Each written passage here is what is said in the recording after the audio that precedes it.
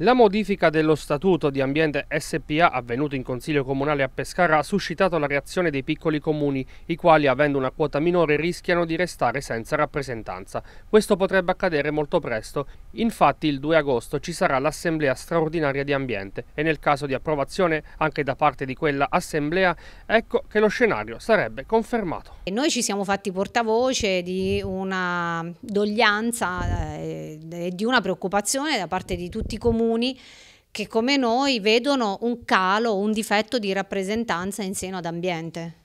Ecco, eh, i comuni più piccoli si sentono esclusi dopo che eh, questo CDA è stato approvato, ma che cosa si può fare adesso?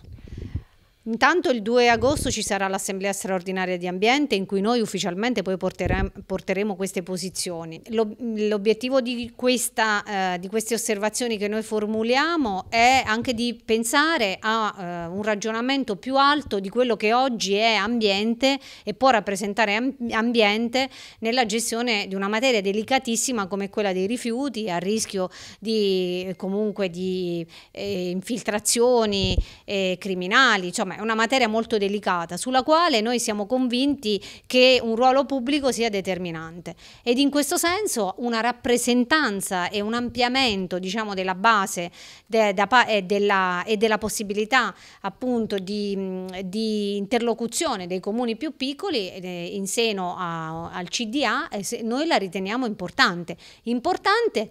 per fare in modo che comunque i comuni piccoli si sentano parte attiva e si avrebbe una, diciamo, in prospettiva eh, un problema di appunto magari di uscite in blocco dei piccoli comuni per cui si snaturerebbe quello che è oggi il portato di ambiente, quello che oggi ambiente potrà, può rappresentare ma ancor più in un'ottica futura.